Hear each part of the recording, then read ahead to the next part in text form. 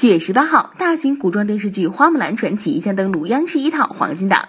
七月九号，该剧在京举行媒体见面会。虽然《花木兰传奇》的女主角由新人担纲，但绿叶团队却名气云集。郑佩佩、吕良伟、刘德凯、杨丽青等实力派演员在剧中均有精彩表演。吕良伟更是在剧中出演了最大的反派。最近，吕良伟似乎也是有点烦心。日前，从香港传出消息称，香港头号富婆龚如心千亿遗产有部分已秘密转至他的名下。吕良伟方面已经收到相关的法律文件。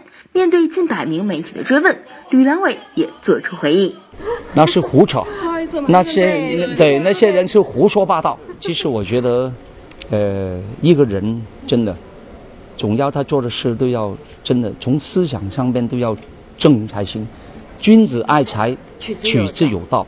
什么道呢？就是正道。